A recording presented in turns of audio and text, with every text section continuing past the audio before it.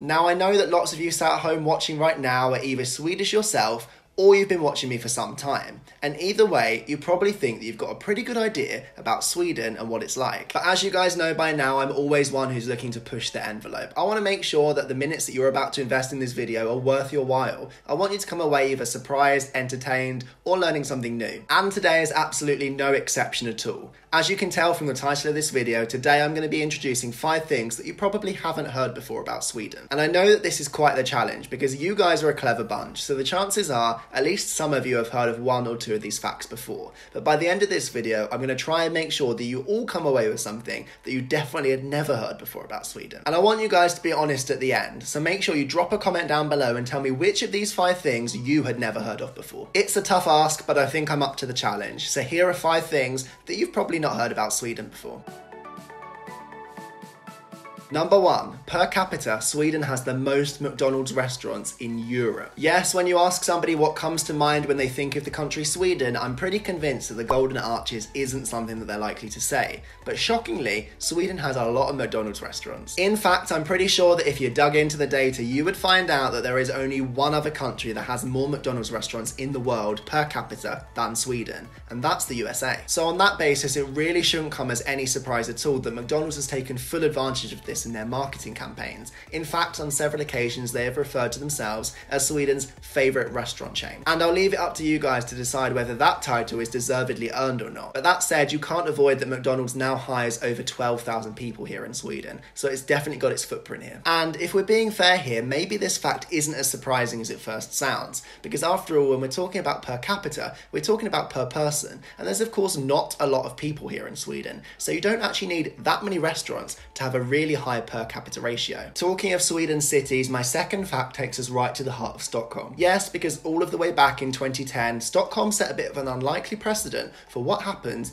if you are fined for speeding in the city. So if you were caught putting your foot a little bit too hard on the gas in Stockholm City, they would fine you, but instead of that money going back towards the transport authorities, they set up this innovative fund where all of the money was collected together, and at the end of the year, somebody that didn't speed would get that money in a lottery. Yes, because all you had to do to be entered into the draw was to drive at or below the speed limit throughout the year, and then at the end of the year, the winner was presented with all of the fine money. And if I'm being honest with you, it sounds like the campaign had the desired effect because the average speed in Stockholm reduced by 7 kilometers an hour from 32 to 25 kilometers an hour. What I've been unable to verify is whether you can only get an entry once or it was every time you drove at or below the speed limit in the city. Because I've got this really funny image in my head of people driving all the way up to Stockholm from Gothenburg or Malmö just to drive slower than they should to try and earn themselves some free cash. The other thing that I've been unable to verify is whether this campaign still exists or not because I know it was started in 2010 but I can't find any official end date. So if you know the details details. If you live in Stockholm yourself, let us know in the comments down below. Is it still possible to earn money by abiding by the law in Stockholm? And sticking with the theme of Swedish innovation, the third thing on my list of things that you didn't know about Sweden before is it's actually this country that we've got to thank for the fact that I know that it's 23 degrees outside today. Yes, because did you know that it was actually a Swedish astronomer by the name of Anders Celsius who we have to thank for the fact that we have a centigrade system today.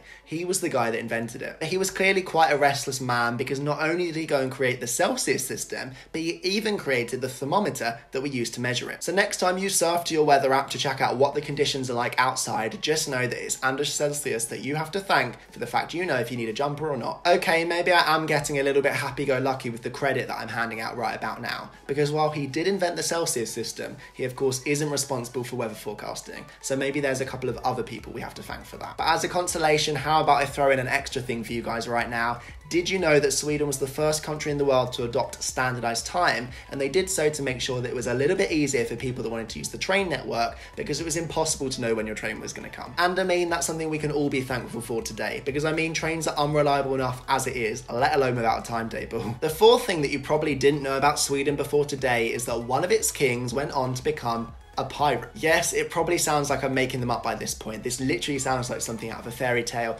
but I assure you this is 100% true. Back in the 1400s, one of the kings was forced off the throne and went on to become a pirate. So the story goes that all the way back in 1439, Eric XIII, or Eric of Pommern as he was also commonly known, was forced to leave the throne. He was deposed by a new king, and that forced him to flee all the way to Gotland, where he then became a pirate for the next 10 years. Yes, research shows that he spent the next 10 10 years of his life travelling around the Baltic Sea looking for Davy Jones' locker. No word of a lie. Okay, maybe there was a tiny white lie at the end there, but the part about him spending 10 years sailing over the seas as a pirate is entirely true. Come to think about it, the more that we dig into this tale, the more that I think I'm hearing the story for a new Netflix original. So, Netflix, if you want to get in touch, I'll sort you out. And that brings me nicely on to the fifth and final thing that I'm going to be sharing today that you've probably never heard about Sweden before. Yes, because while you're probably familiar with Swedish music, you've probably heard of ABBA before, or Or Zara Larsson, one thing you might not know is that Sweden is actually the world's third biggest music exporter. Yes, because officially, if you look at the data, Sweden is only behind the UK and the USA for the amount of music they export each year.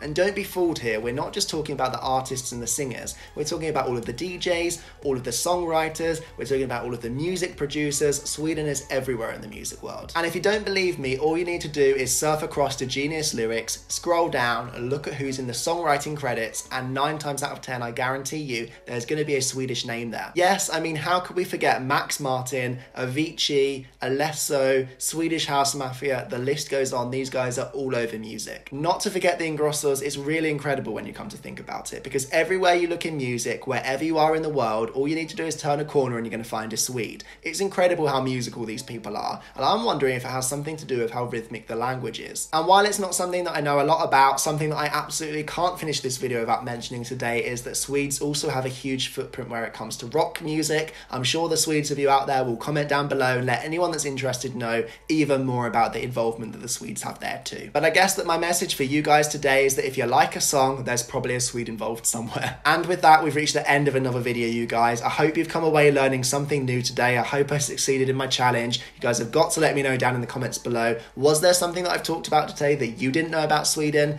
If by some chance you had heard all of these before, please deposit a new one down in the comments below. Something else that maybe you don't think that people would know about Sweden, because I, for one, would love to read them. And I'm sure there's others of you out there that would also be interested to learn something new. So let me know down in the comments below. And then once you're done doing that, if you haven't liked this video yet, it'd be awesome if you could subscribe as well, because I have new videos twice a week. Click that bell so you're the first to know when they come out. Thank you for all of the support. Thank you for watching as always, and I will see you guys later this week for another video. But until then, thanks for watching and goodbye, you guys.